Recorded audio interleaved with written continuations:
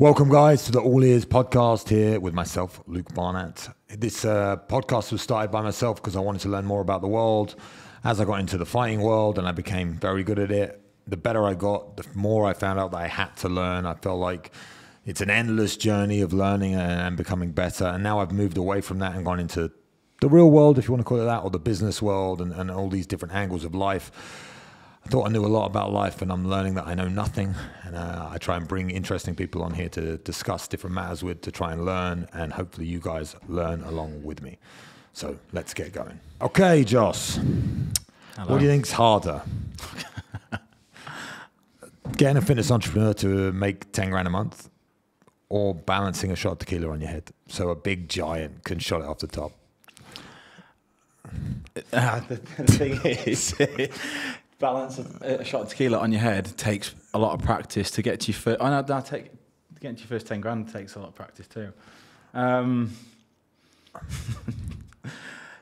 I mean, balancing a shot of tequila is, is pretty. It's it underestimate how hard it is, bro. I, I was you, I was extremely impressed. And also, you've got to take into like consideration the environment you're in You've got music, you've got people around you. It's hard.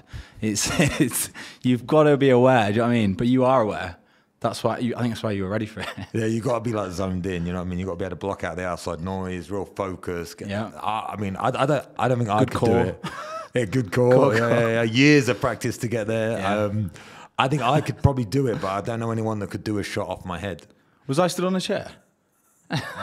Maybe I don't know. I don't know. I don't know. No, but got a great squat in you as well. You but I, I, saw you this morning in the gym. So yeah. even though traveling all over the world, doing your thing, starting businesses, running multiple businesses now, mm-hmm. you still find time to get to the gym because you know your physique is what what what got where you got you where you are. If you want to put it that way. Yeah, I mean it's like having breakfast. I have to go. Yeah, I don't want to go.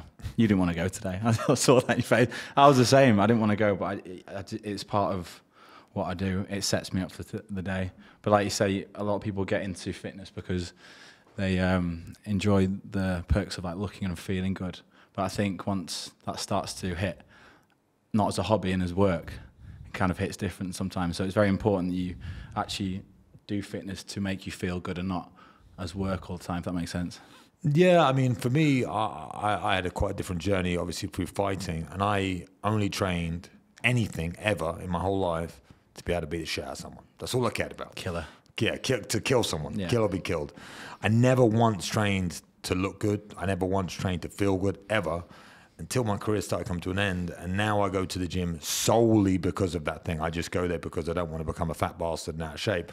But it's so like difficult. I find it sometimes. So obviously, a lot of people come to you with advice about how do I stay motivated in the gym and all all that stuff. But for me, I just think it's a it's a like I, I was up to 120 kilos about um, six months ago, mm-hmm. looking not very good. Uh, I'm down a little bit now. I was at I was at like 25, 24 percent body fat. Now I'm like 19. Goal is to get back to 12. When I was fighting, I was eight. So like, but that's all because of the distractions in the world that have hit me from giving up fighting, moving into business, trying to make money, which is a big stress in your life. I've got a family, so like how what advice do you give to people to, to, to keep them grounded and keep them moving forward for the gym? What to just stay focused and stay in shape? People overcomplicate it. That's what uh, winds me up a little bit. Like you like or counting your macros obviously you need to be aware of your calories but if you are not if you're around the 10% mark and you want it to get lower then it gets more advanced. If you're above that and you want it to just feel better get in shape don't overcomplicate it. There's all these crazy diets out there. Put your fucking trainers on eat less and just be consistent with it. But people do Monday to Friday being great, and then Friday, Saturday, Sunday just be a slob, you know? And that's still a lot of the week, you know? You need to be consistent. Treat yourself, of course, but it's the long game you've got to play. But people, they're too inconsistent with the small daily tasks. Like it's lots of small things that build up. It's not like one huge movement.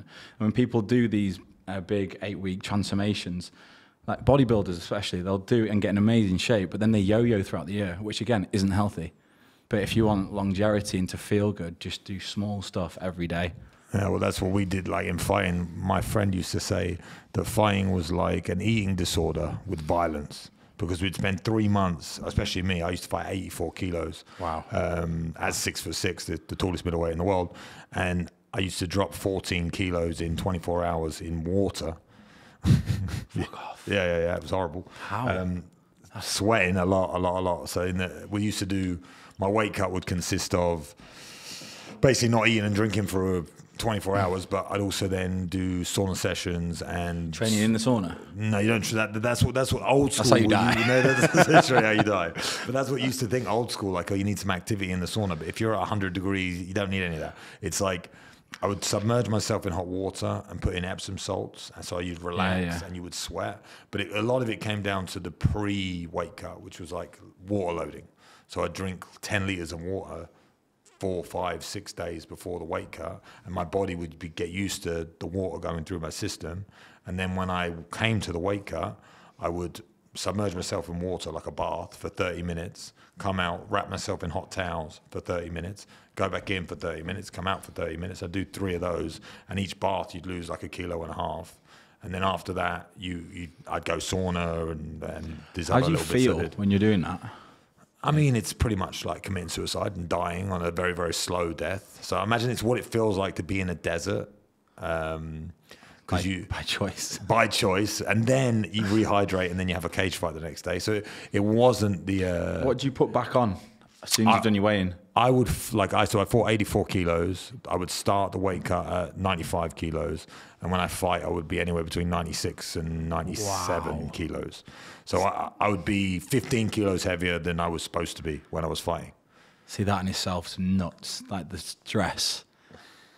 But the problem is, the guy I'm doing it, fighting, is doing the same thing. exactly the same, I mean, yeah. not to the same. I, I was high end of the percentages, but so that as well. But then those three months training to have that fight. Then after the fight, you, you I would have starved myself to stay at the weight I was at. So then after the fight, you just eat like a madman, and like you said, yo-yo. Like you go from yeah. my weight, which I would just become a fat mass, and then I'd, I'd still always train all that sort of stuff. But you see that with the, the fighters now, it's completely unhealthy. But that's the difference between the level of what you're doing compared to like if you just want to maintain a good physique. It's small stuff. You don't need to do all that, you know. That's what you're doing is to be at the highest level of what you do to kill someone.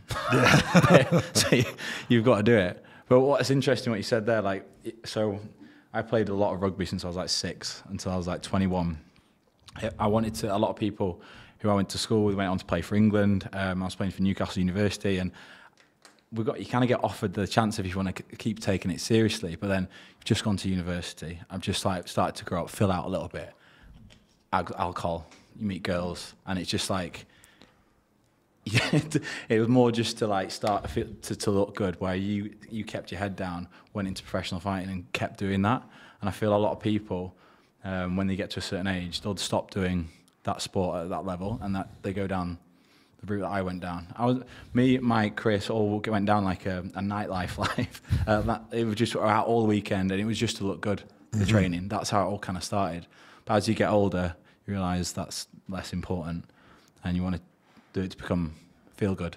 I, I think it's short lived. Oh, yeah. But but it's also a pretty good time for a short amount of time. I'm sure when you look like you Ah. do and you're at, like on the beach, ripped out your mind, and you're just walking down the, the like you said with Mike and the boys, and you've got like a gang here. It's kind of like.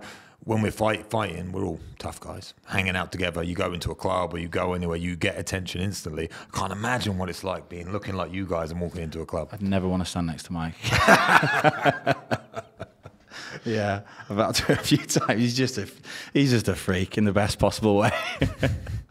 yeah, but um, yeah, it's, it's training to, to look good. It's, that is that is it actually. When you're on the head, you're walking into somewhere with all your boys, the banter's flowing, you're feeling good, looking good. It's that's, it's a good feeling. Yeah, it's hard. I, I, it's hard to. It's like that dopamine hit in a different way, right? Yeah. Yeah. So and now you get that ex- extension of that with social media, which I'm sure helps too. But it also helps business. So it's like the ROI of looking good and having a good physique and being in the gym. And I'm talking for like the young guys out there that don't understand it and how difficult it is. It's like the ROI for your health and for how you feel and for your business and for female attention. And for, it's huge, right? everything starts with looking after yourself. The daily things that you implement, with your discipline to look after yourself, you can then apply into your business. Then you're going to start to look better. So you start to attract more people who you want to be around, and vice versa. Then you probably get into a business conversation with those people. So the whole thing starts from looking after yourself and being healthy, essentially. You know, what which I think a lot of people, especially now, underestimate because you can sit on your laptop like trading and doing crypto in your room all day and not even bother about your health, but you're still earning cash. But then you're not going to have the mindset to go out in public and, and still like be someone. Um, what the word I'm looking forward to. you know what I mean? Like have have that confidence. Yeah, have the energy, the yeah. like magnetism to be able to speak, spend time with people, and people will come to you almost. Yeah, I think it sounds like being into fitness in that in that way is like a happy kind of cloud. Whereas for me in fighting, you just said it like at 20, 21, I couldn't go out. It was like impossible because I, I, all I did was train twice a day, three times a day, every day. Mm. For female attention, I mean, I used to live and sleep on the gym floor. So even if I got the attention, and I managed to say the line, walk up to them, talk to them, and convince them somehow to come back to my place. Headlock. My place, yeah, headlock in the gym. My place was a gym floor. I didn't yeah. have any income. I was living on fifty pound a week. I did that for years on years on years on years. So it was like a very dark path to go down to. And I think fighting, anyone who's in the fight business or gets to a good level of fighting, they kind of have, they're fighting something internal. That's what I believe, anyway and I, I, I always thought that about like fitness guys and, and bodybuilders, I always thought they had to push themselves to the level that they have to be at physically to look the way they do. Mm. There has to be something internal that they're battling. Do you ever find that? No, 100%. um. I, yeah, I can relate. So I kind of started the gym when I was um, 17. Um, my dad died when I was 16. I've got two sisters, my mum, and therefore I had to become the man of the house. I start and I went to the gym not having a fucking clue what I was doing, but I needed to release something, and that was actually um, where I buried a lot of a lot of stuff. And it's so true. You do hear like all people in the gym have issues. Yeah, that's probably one of the main drives of why people start. Whether it's something traumatic, a breakup, breakup's a massive driver for getting in the gym because you want to feel better, look better. But then, like, there are the benefits of doing that, but. You, you can you can either put that energy into something negative or positive, and I feel like exercising. There's, there's no downside to it you know, you feel good afterwards. You never regret a workout, and long-term benefits are they, they speak for themselves, don't they? So, so you feel like that. Obviously, that's a huge thing to happen at such a young age. You think that you funneled that energy for that dark energy, and you put it into the gym, and that's like was what really pushed you to become where you're at now. You think physically, or yeah, i am a very stubborn individual when it comes to myself, and like I don't really share much emotion when it comes to that kind of stuff. Like I think my mum saw me upset once. She's like, "What's wrong with you?" But I just go and bury it where I go on runs every day. I, I find it very hard to relax.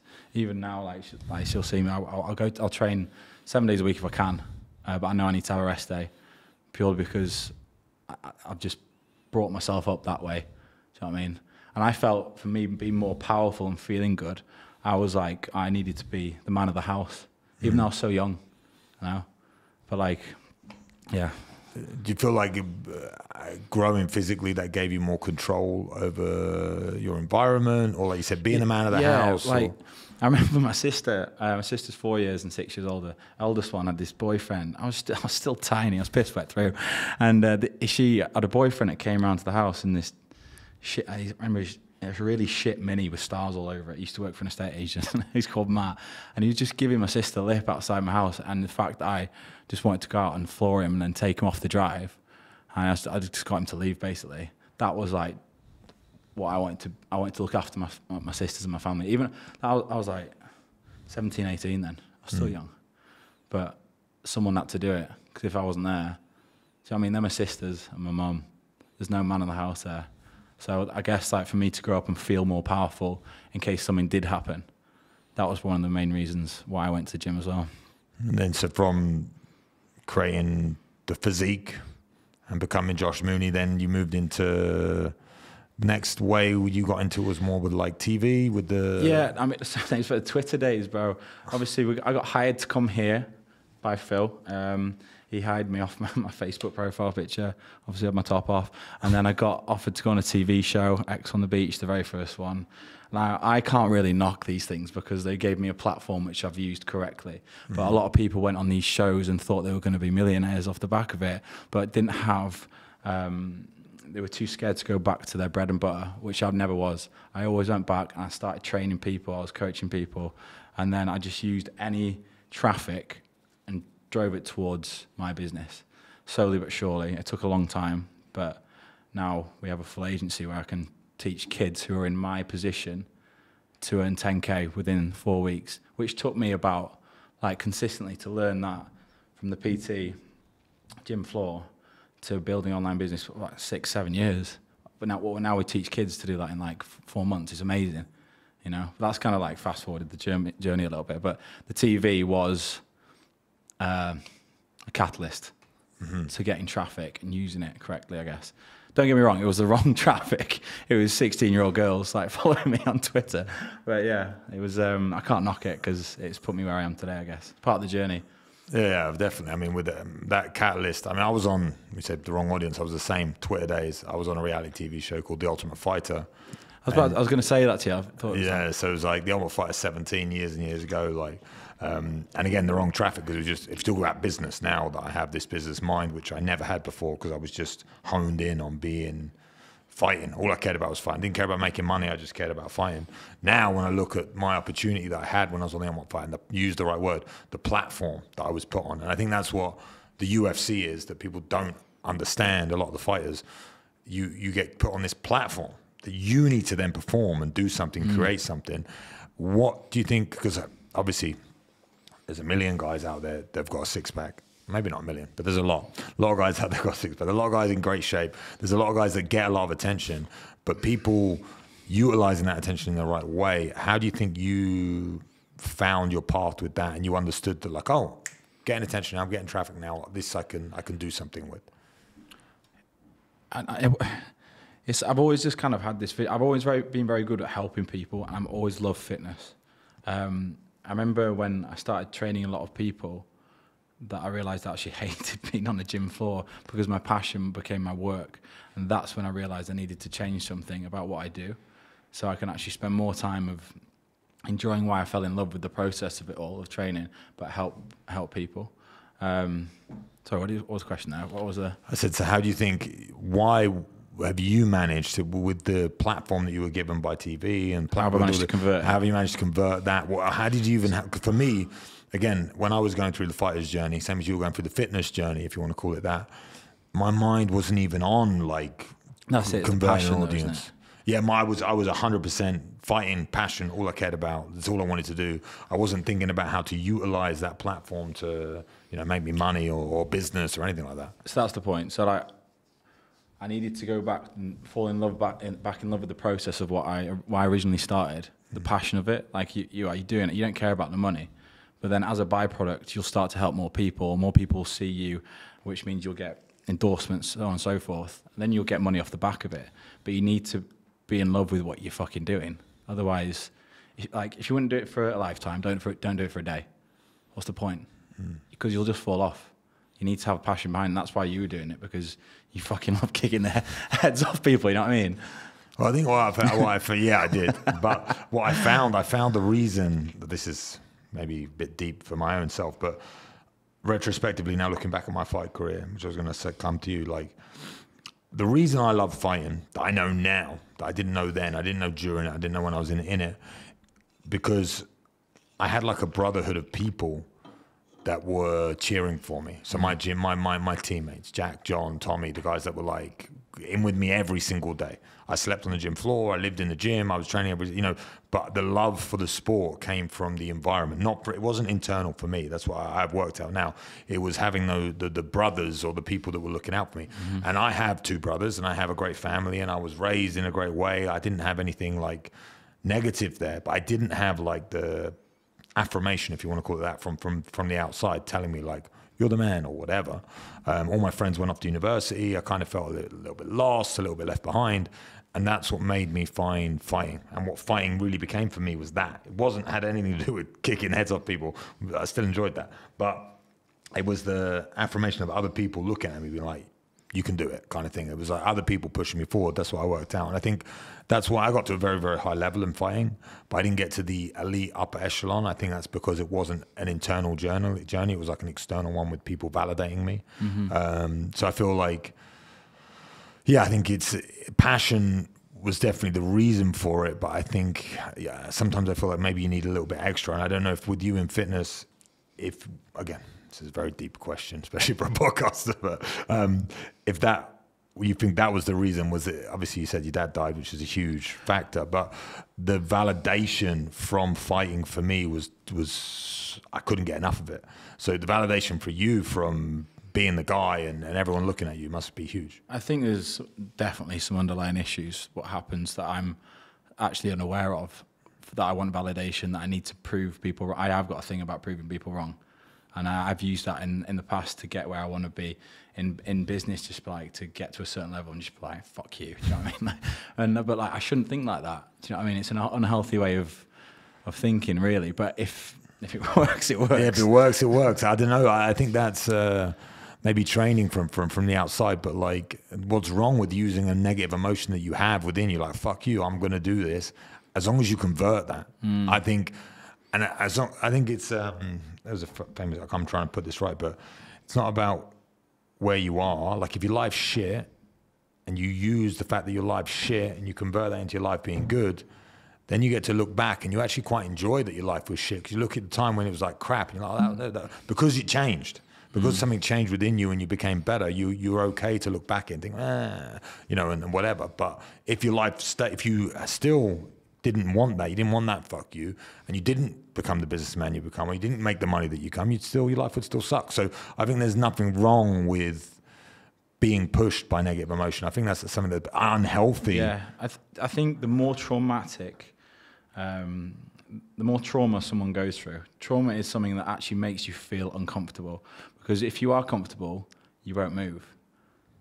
And I think people sometimes need that shit and it'll, it'll, it'll flick a switch and it'll make you do something drastic to Im- improve yourself. You know what I mean? Because if you are going through hell every day, you won't like it, so you will change it. But I feel like some people get to a certain level and then they get comfortable and then they, they just stay there. Yeah, I mean, I've, that's that's described me over the last couple of years, and I've tried to get away from that.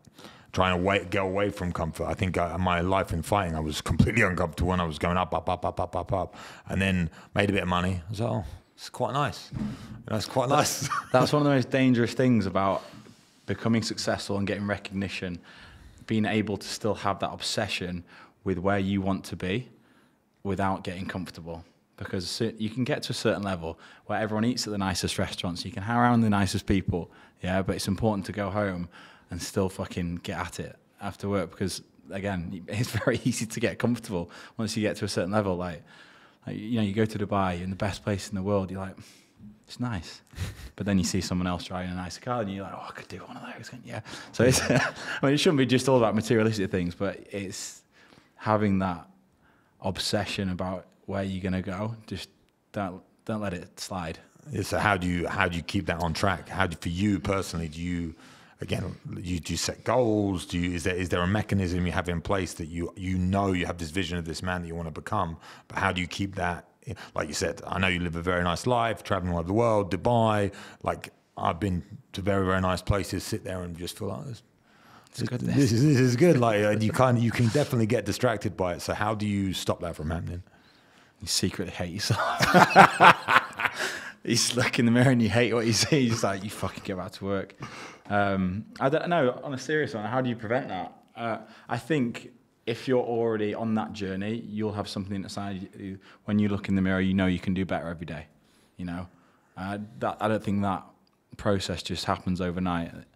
You know, you know you're getting comfortable, so you'll probably have a word with yourself. Um, but again, you just coming up with just keep evolving as well. The world's always evolving, so don't get left behind. Give yourself, set yourself new tasks, whether it's in your healthy business, your relationship. You know, there's always somewhere you can improve. And I think if you're on that, you're that type of person, you'll find a way to keep improving, yeah, regardless of being comfortable for a little bit. You should. I'm a big believer of treating yourself. If if you've done a good job, like give you some, give yourself some time back, you know, but then get back to work again. Yeah, I think um, that's something a lot of people forget. I, I, forgot that in in the fighting world again. I know I keep talking about myself, but I'm, no, I, I, I, do love myself. Love so fine. um, but like no, for me, I, strive, strive, strive, push, push, push. And in, in MMA, it's like you fight, and then three months later you got another fight. So it's like I don't know, the same fitness with competitions or whatever. But I would have my fight, I would win, I'd be happy for a day, twelve hours. What maybe. you're saying though, it's that it's that that that um, chemical reaction you get in your head. You're going on fucking stage, basically. Mm. This is your arena. You just kick the fuck out. It's like the manliest thing on the planet, bro. You're gladiator.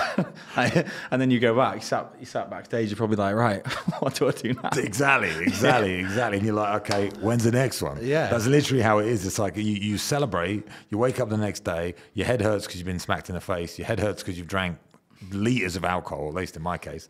And then you wake up and you think,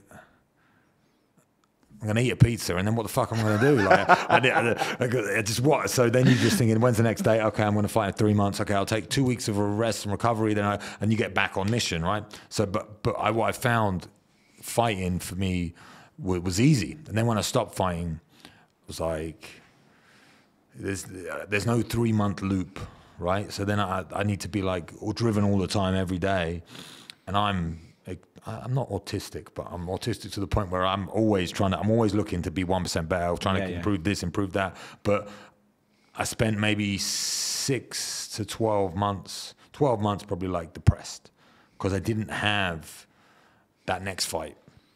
And uh, someone said this to me the other day recently. It was like, uh, everyone says fighters die two deaths. They die when they retire, and then they die when they die, right? Because when you, you your whole identity is destroyed. But someone called it social death, right? Which I had never heard before. But it's like death in the social realms, and I think this is something reality TV stars. You know, they'll be comparing to you, but that happens to them a lot. They get the limelight and they get the glory, and then it goes away because uh, like, yeah. who cares after a while? You know what I mean? Unless you continue to evolve, as, as you just said.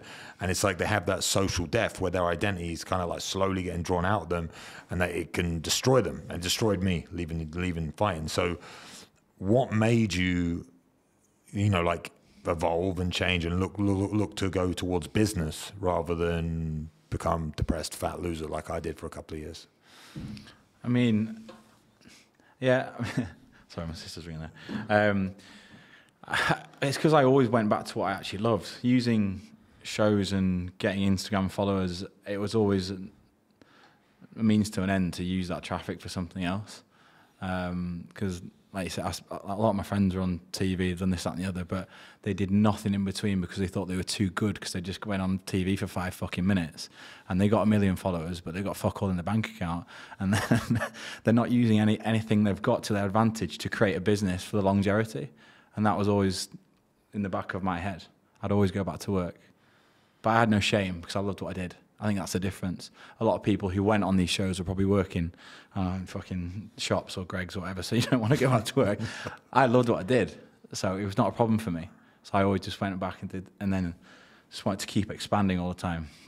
But there was a point in my life where I, I did like mid twenties. I was like, I was kind of like felt a bit lost. I was, like, I was training people all day, every day. I was like, is this it? is this fucking me? but again, it takes a trigger to make something else work, you know. So well, there's plenty of twenty-year-old personal trainers out there that probably listen to this. So like, if that, what was that trigger for you? Oh, that, that, you know, that it was, it was. I was trading my time for money. I, I fucking, I was on a gym floor. I'd be up at five in the morning, and then the afternoon I'd have a little break, and then I'd be training people to like nine, ten at night. I, I had to go to a different gym to work out because I fucking hated the environment I was in. I literally hated it. And I was like, what's next? I'm at my ceiling because I'm working max hours in the day. I'm tired. I don't want to train myself. I was like, something has to fucking flip here. And I created a website started to drive traffic towards it. It was slow, fucking slow. I was like thirty pound PDF ebooks. I was trying to shift. Nothing happened for ages and ages, and then um, it was just consistency. Like, end of the day, anything is if you stick at something for long enough, you'll get traction, and that's what happened eventually. But I started to develop my systems.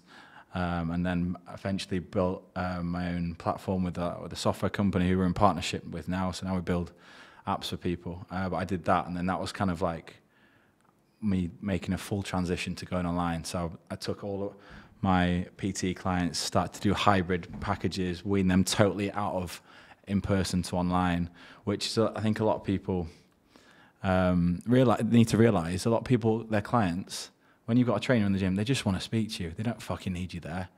If you want to do the work and you want to get fit and you give them the perfect recipe, you'll bake the perfect cake, right? So, but people get lazy with that and they want to have this one to one, like little huggy gay session in the gym. How can I say that? It's a bit sensitive world, isn't it? But like it's true. Um, but I speak to eight to twelve PTs every single day on, on my calls, um, trying to fix their businesses or build them a business. All of them, majority are overqualified, uh, but they don't have, have a clue how to get a fucking lead online, and it's scary because some of these people are amazing trainers, but they just don't know how, they don't know how or where to go to start to get their business online, to get them freedom back, to to fall back in love with the process of why they started. Like they're just tired, but they don't know how to do it. So that's where that's why I get the enjoyment of what I do, to be able to provide a platform, show them how to do it, give them the guidance that I never got to get them where they want to be. You know, so so, so you, I mean, obviously sound and speaking like a very astute businessman using you know all these phrases, but did you study business before? Eh, no, just winged the whole lot. I never had a sales call in my life, bro. And I remember Jamie, my business partner, he says, We're going to do high ticket. I went, What the fuck's high ticket, bro? Uh, he's like, We're going to build a four month program, get someone, on, get someone on a call, get them to fill out a Typeform. You're going to call them up and you're going to sell uh, a £1,600 package. I was like, How? He was like, I've written your script. We're going to bang it out now. I was like, all right, fuck it. did a story, got a couple of hundred leads in, which is decent. And then in my first month, I did like 98 grand. And back then, I was like, fuck yeah. I was like, I was like, this is working. So then, one, we just it was just trial and error. I was I wasn't great on my sales calls, but people people buy into people and not what the offer is, which I learned. So if I can fix someone's problems emotionally, um, they'll buy into me. You know. But if you're just if you're going to tell me that I'm going to get a nutrition training plan and check-ins, it doesn't mean anything. Anyone can get that anywhere. If they like me on the call, which is important when you're in sales, and with anyone you work with, you know, that's when people buy into you. And that's what I think that was one of my good traits where I can speak to someone, I can get to their problems and try and work out how we're going to fix them in X amount of time. And that's why I was good. And then now we teach people to do what we do. So, so I mean, I've gone through a very, very, very, pretty much identical experience when I had to get on the phone and make my first sales call, and I was yeah. like, uh. and then I remember my first call. I sold it, amazing. Mine was actually a very high ticket product, and he was like, "Okay, how do I pay?" And I was like, uh. "One sec." and I had to, I, I, but I, I couldn't because I hadn't set it up because I was just making the call. There's a link that I could send for them to, to do the payment, but I hadn't built the link. Mm. So I was on the phone and messed up and said, I'll send you the link like the moment we get off the call. You know, I'll get, get it sorted. Got off the call, sent the link, never heard from him again. So it's like, and we have to close people on the phone. It's on like the, the phone, number yeah. one rule, right? Because he was invested, everything you just said, like he liked me as a person. It wasn't about so much about the course or anything else that I was selling. It was, it was about me. Um, we connected really, really well. And when you get off and gets a text saying, "Give me this much money," it's like, it's no, weird. Bro. It's weird, isn't it? I, I've had some amazing calls with people. I'm like, in some situations, I'm like, yeah, no problem. I'll give you a message afterwards because something pops up. Family have just walked in, like a valid reason. But then they just dip afterwards. I'm like, oh, I thought, I thought we were, yeah, yeah, yeah, thought we were good. but yeah, it's um, no. To, to, your question, I didn't have any training, which I just learned just learning it. A lot of it's just people skills. So how did you? It sounds like your business partner obviously played a big role in that. How did you find it? I think a lot of people struggle trying to find people to work with and partners and yeah. going into business together. So how did you find him? It's good that actually because a lot of the time when you start business, it's usually with one of your mates, which means they're similar, which means it's not going to work because you've both got the same attributes. I met him through um, two of my friends, one of Mike's friends as well. Um, and he's their brother. He's our older brother, and he comes from a teaching background. He was a teacher. Um, uh, he was a PE teacher, and then so his attributes outweigh mine. I, am very good at more marketing side of things, bringing audience in, and he's very good at fulfillment. Uh, but together, like it just it's a really good match. So yeah, we're just kind of working things like that. But how, how did you find him? How, how did you guys? You said he's. Oh, I'm, fri- I'm friends with his brothers. Oh, okay, okay, Yeah. okay. So, yeah, I mean, that's one step away from family and friends, but it, but it's okay. Yeah. But I think that's where a lot of people get things wrong when they're starting businesses. I I had two clothing lines that were ju- just not great. Like I did it because I was like, I want to make my own clothes from wearing everyone else's all the time, and then um, realized my friends like he was just wanted to do all the stuff I was doing. So I was like, we're missing out like the fulfillment. We've got to do the find the suppliers, the orders, all that kind of stuff that you don't want to do the admin.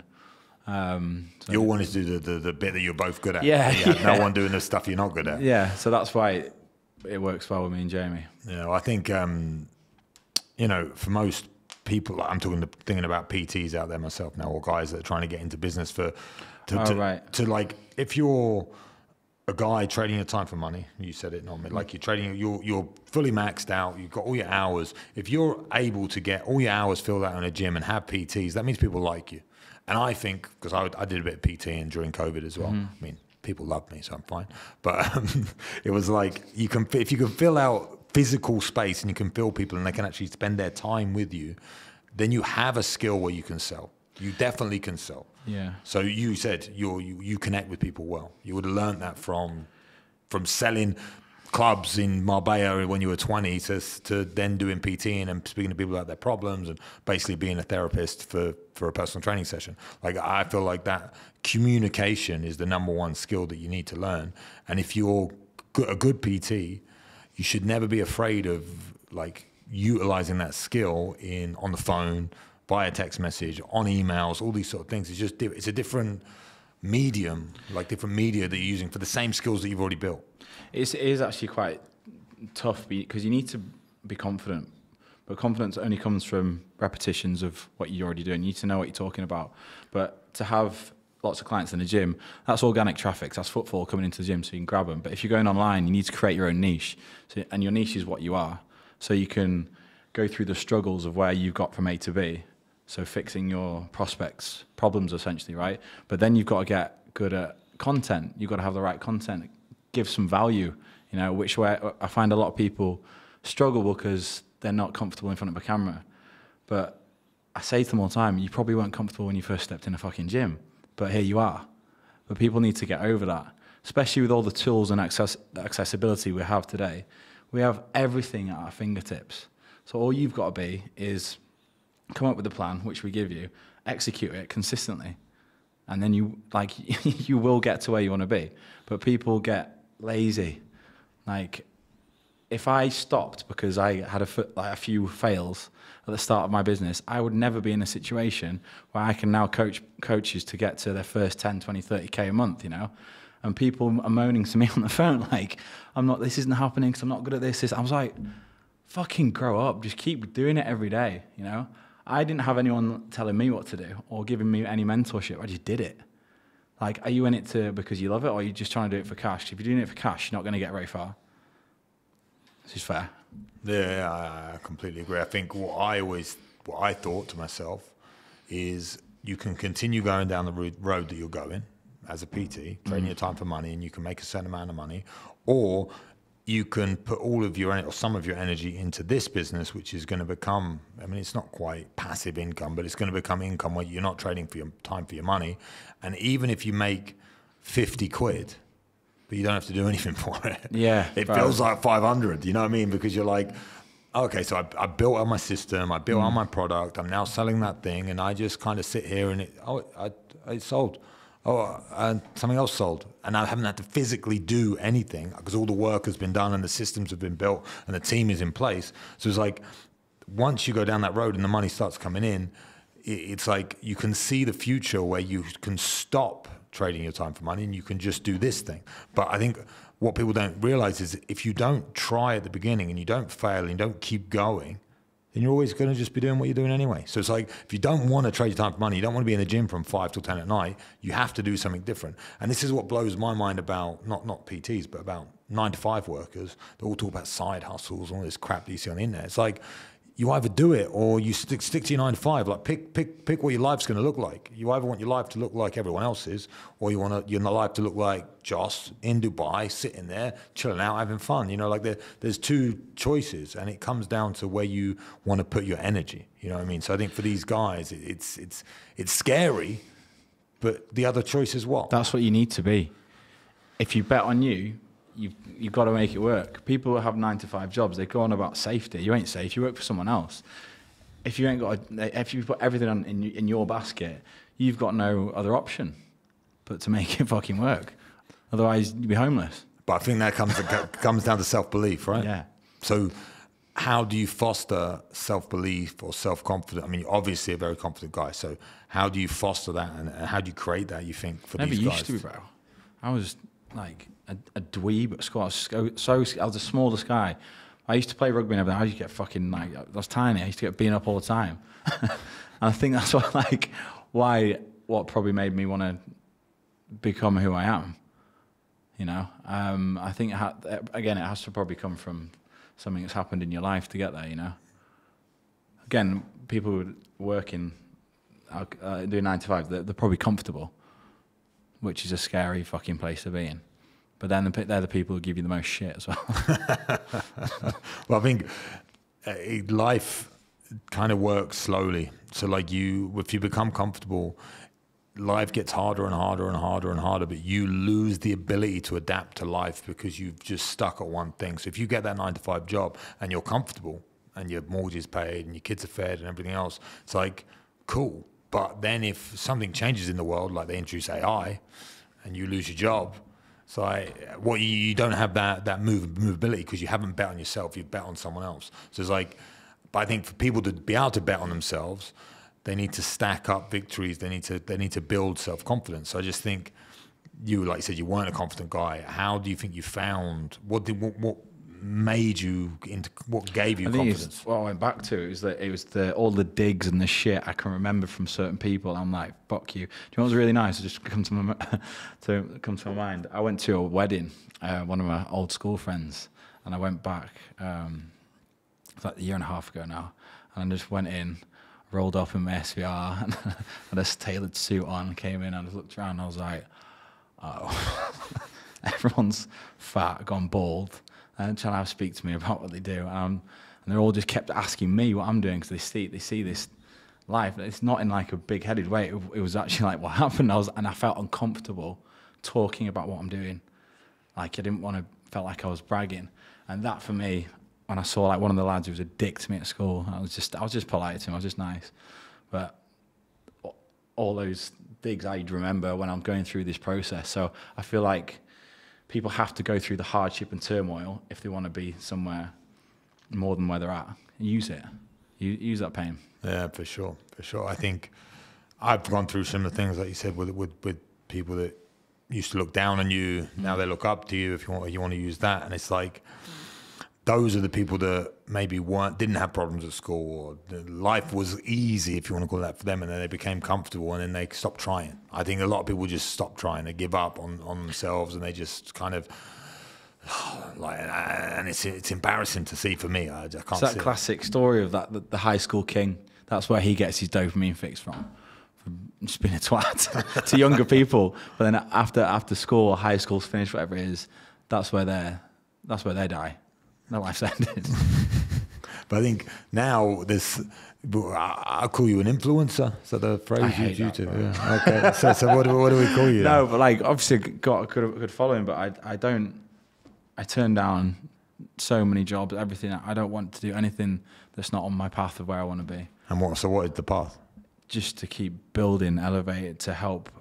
I mean, there's over 600 clients there, and at the moment, I'll get to. I want to get to a thousand um, and just help as many people that are in my position. And you know what's nuts is I, I speak to people and I, I, I, post figures online and people like, oh, it's a scam, this, that, and the other. I want to make an offer so good that you feel so stupid saying no to it. Because if I, I know I've, I'll pitch something to you and I know it can work for you, I don't feel bad about it. I don't feel bad about if you don't sign up because I know I can help you. That's your loss kind of thing. So I just want to keep helping as many people from the position I was in. It took me so fucking long to do that in like the space of four months. I've got 20 year olds doing 10k months, which is like unbelievable. If I was doing that at 20, I don't know. I'd love to think where I'd be, be now. Or like we had a homeless guy, bro. He's nuts. He's a guy called Danny Hayes. I love him. He's uh, been with us for about nine months now. He was uh, in the army, got stabbed in the neck, discharged, dark path, drugs, alcohol. Uh, managed to scrape some cash together, stayed on his mate's sofa, uh, got a loan, and uh, signed up. Did 10k in his first month. He's doing four and five figures every single month for the last nine months essentially. And we've just built him his own app. And he was on the phone to him like three days ago, and he was he didn't have a house this time last year. It's mad. That's fucking why it's giving me goosebumps. That, that's fucking why I love what I do. Yeah. Like it's it's it, that's that feeling sick. I think that for eh, for people listening to it, it's probably unbelievable. But I think when you have the tools and the understanding of how to make money, especially online, with, with the, it's like what people don't understand is there is billions of people in the world, you know, like billions. So if you have a service that you can sell online, you have billions of customers to sell it to. Yeah. Whereas before, you used to have to open a shop and hope you get the footfall in at the gym or whatever you're going to say. Crazy to think that, isn't it? So you got like 2,000 people you can maybe sell your service to.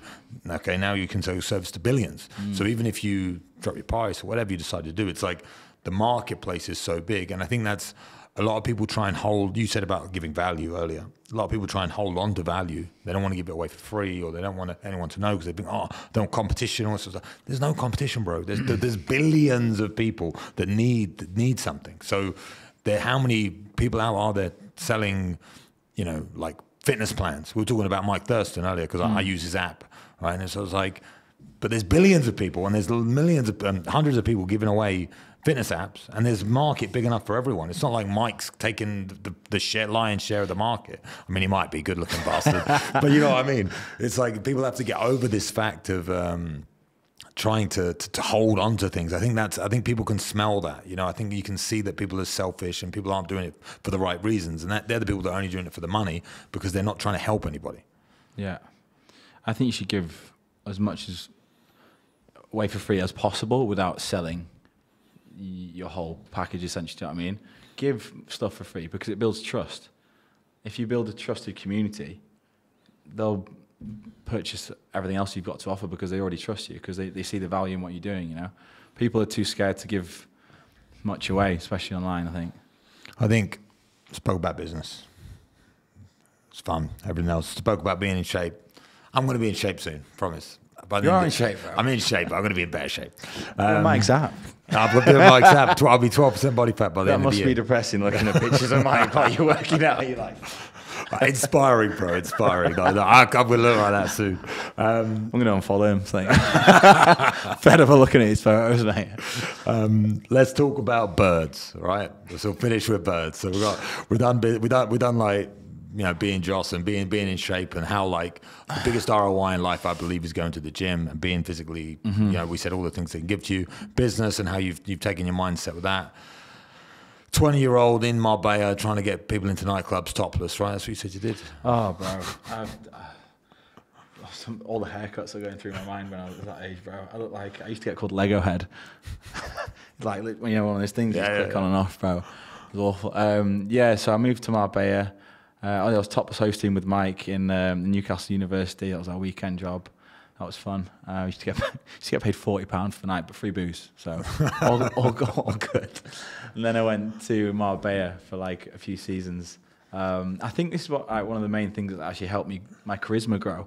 I remember I was down on the port and uh, Phil, who hired me, gave me a bunch of flyers. He goes, "Right, I want you to hand them out to girls to get them into the club." And I remember I, I, I was like um, you wanna you wanna come down to like Newscath and, and I, I, was scared. I didn't have that. I've never been put in a public place where I had to deal with that before. But I think that's one of the main places that made me grow as a person with my charisma. But um, yeah, stayed here for like did three summers. Yeah, it was um, it was fun.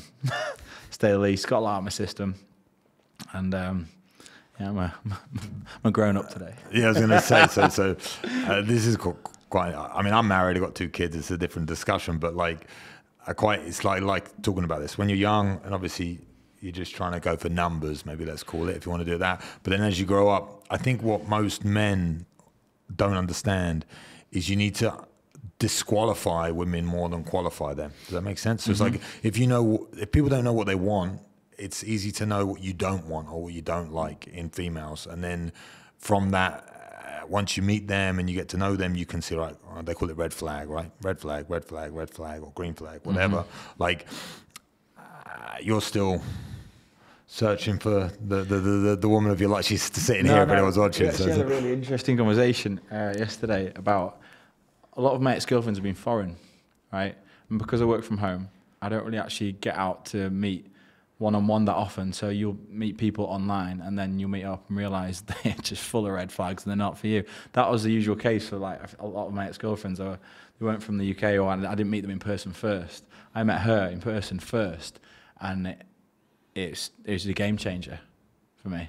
I don't think she would have replied to me if I just DM'd her anyway. Do you know what I mean? So um, I think that's where a lot of people go wrong nowadays. They start searching for things online when you actually need to have an organic um, introduction. Yeah, I think I think dating. I mean, again, I've been out of the game for a while, so dating now seems to me super yeah, like a nightmare. Fucked. Like the Tinder and all this crap. They be, just seems like how can you meet a genuine person that you you're gonna get on with and gonna enjoy time with when you just everyone's Instagrams. I don't want to call it fake, but it's like positioned in a way to, to- yeah, yeah. to look perfect and be the best that you can be. Even like not just talking superficially the way they look, but like the places they are and the things that they're doing. And you know, it's like the best, best, best, best versions of us, right? So to under like, how do you think? Oh, obviously you said you, you you found it in real life, but how do you think? Men, average men, because you're not an average guy. So, like, uh, what for an average guy trying to find women? How do you think it's uh, they can can make that happen? You got to work on yourself first. Yeah. Too many people try and chase love before even making themselves worthy of it. You know, like it, it's almost a distraction from their actual life. But if you work on yourself first, make yourself a fucking animal in like physically, in business, whatever it is, you'll attract the right person. And also, you you're not giving when you're when you're searching for love, you're look you're you're giving you putting someone else your emotions in someone else's hands, basically. You know, not not someone's comes attra- like attracted to you. Uh, what am I trying to say? Like you're giving, you're just looking for the wrong things in life. I think you need to work on yourself first to attract what you want. Like, because after that honeymoon phase, if you've just gone searching for love, she's going to get bored of you, and it's all going to go tips up. You need to have a bigger meaning in life. So that would be my advice to anyone trying to find find someone that you want to be with. They will come, but only when you've worked out who the fuck you are. I think that's uh, very, very, very good advice. And I also think, from a man who's been in a relationship for a long time, what most guys I see happen is they find that girl, they think that's the perfect girl, and then they start changing who they are to Yeah. please her. And then she doesn't like him anymore because he's not the man that she thought she, he was because he's now become like less of a lesser version of himself, if you want to call it that.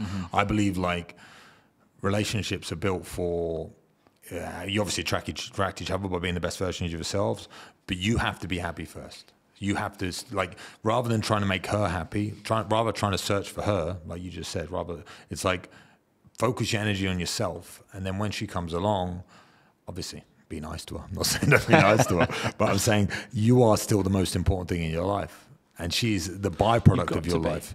Because otherwise, you end up focusing your energy on her and, and and losing your energy on yourself and you become a lesser version of yourself. And that's where I see a lot of couples break up because they're like well you're not you're not you're not a man that I met. It's like no because I changed for you. That, I- honestly that happens all the time. You should just focus on yourself do exactly I think, I think what you said was spot on.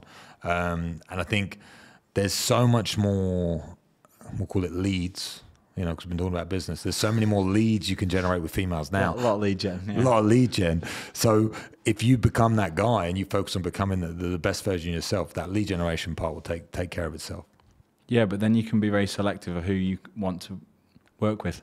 Yeah, yeah. that's where it comes like the, the, it's the same as business as it is in like relationships, and you need to find someone who balances you out as well. You know, I think disqualifying them is that's when you get the the, the uh, luxury Yeah. of rather than trying try, oh, come come couple you're like no, Yeah. no no no not this one not this one not this one No, you seem right for the job you seem right for the role let's let's have a trial I told. I told her when I met, I was like, I fucking deserve this. I was like, I deserve this. I was like, I've been waiting for, I've been waiting for this. Yeah, well, hopefully we got there. Um, all right, Joss. I think um, been a fantastic conversation. Yeah. It's good to get to know you a little bit better. I wish you all the best with Elevate. If you want to tell um, the audience who you are, where they, where they can find you, where they can find your business, all that sort of stuff, like where to follow you, and then uh, we'll put all the links in the description anyway, but just so they can hear it from awesome. you. Awesome. Yeah. So if if you do want to follow me, it's Joss underscore Wait, is it? What's my Instagram? I've got, I've got like six Instagrams on there, all business accounts. Right, if you want to go to Elevate, if you are a PT, to be honest, fuck, fuck my Instagram. If you are a PT and you want to learn how to scale your business, or you just want to chat about where to go within the fitness industry, I'm more than happy to help. If you go to Elevate underscore underscore agency uh, on on Instagram, drop us a DM, and myself and one of the team will get back to you. Sweet. Okay, thank you very much, Joss. Great chat. And uh, I'll see you guys next time on All Ears.